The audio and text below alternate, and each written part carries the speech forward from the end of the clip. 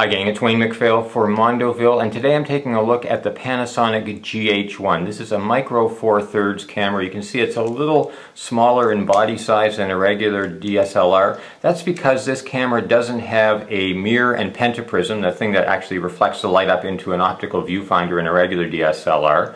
And that makes it possible for the body to be smaller and also for the lens that fits on here to be smaller.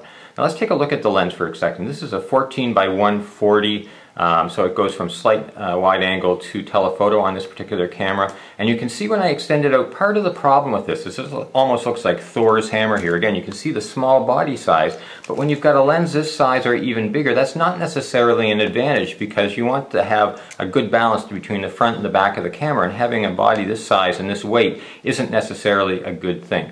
That said, this is a really solid camera. It comes with a uh, viewfinder in the back here that actually pivots around um, and can plug in either um, this way to close off or swings around this way and displays uh, a live view so you can see what's actually coming through the lens in real time, which a lot of uh, DSLRs have these days. And of course, on a point and shoot camera, it's, it's the way it, it always has been. Uh, but it also can display information here, your f-stop and other stuff there.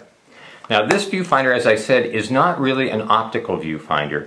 It is a mini display in here, and it's a very good display. It's very sharp, it's very bright, it makes it easy in good light to focus really easily, uh, crisp, crisp image. The problem with it is because it's not an optical viewfinder, it actually slows down frame rate in low light situations. And if you're shooting at ISO 1600 or 3200 in a dim area, it can really make it problematic to track action. Um, so that's a real disadvantage of this, even though it creates a, a smaller camera. This camera can also shoot HD video up to 1080p video, which is really good quality in AVC HD format or lower formats, uh, sort of MP4 format, so you can also shoot in. Um, it has uh, built-in stereo microphone here, which is really good, and it also has uh, an ability to jack in a microphone on the other side here. And always a good idea if you're shooting high resolution video to be actually able to capture good sound externally as well. It takes SD cards on the side here, not compact flash, which is, which is good I think, uh, and a bit um, unusual, but good. Um, over here you've got the HDMI port and another video out port on the side here. The HDMI port would be great for porting your high resolution video out to a, a large uh, HD TV. The camera has a Mega OIS uh, shake reduction on all the lenses. It's not intra-body uh, shake reduction, it's, it's on the lens itself. Um, and these lenses come off, the exchange, interchangeable lenses. You can see the sensor in there. Now that sensor is really highly exposed. It's even more exposed than on a regular DSLR. And that's an issue for DSLRs because you can get dust on there. On this sensor, it would be a real dust magnet and really close to the surface like that. It's sort of kind of scary to have a sensor that close to the, the front of the camera. And that sensor is, well, a regular DSLR is about 83% bigger. The sensor is 83% bigger on this camera, which means that um, although this is much a much, much bigger sensor than on a regular point and shoot camera, it's not as good as a DSLR. And you're going to see that in the uh, higher ISOs, you're going to see more noise in the, the lens or on the, the images that come out of this. When I've shot with this camera in low light, it's been pretty good, but after about ISO 800, you're starting to see some desaturation, you're starting to see some noise in the image. ISO 1600 is still good. The ISO 3200, which this can go up to in, in camera, is serviceable if you need to get a picture and there's no other way to get it, but it's not ideal.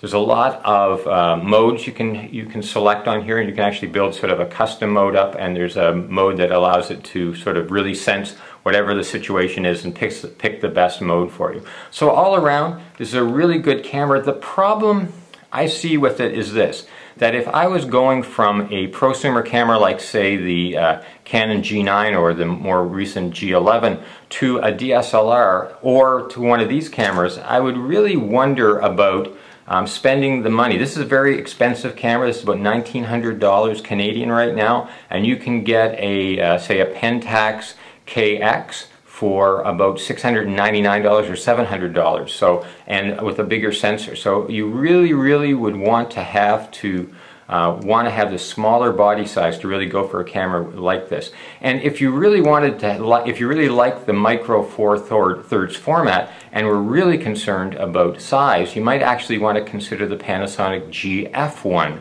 which is the smaller brother to this camera. It's actually a body size about like a, a G9 or a G11, the Canon G9 or G11. Uh, it doesn't have an optical or a, an electronic viewfinder but it has a lot of the features of this camera, so you might want to take a look at that, that as well. So if size matters to you and you want to move beyond your point and shoot camera to a, sort of a DSLR experience, this is a really good camera to consider, especially if you want to shoot HD video, but you also might want to look at the GF1 and you also might want to look at entry-level DSLRs that are cheaper and will also deliver really quality images and video.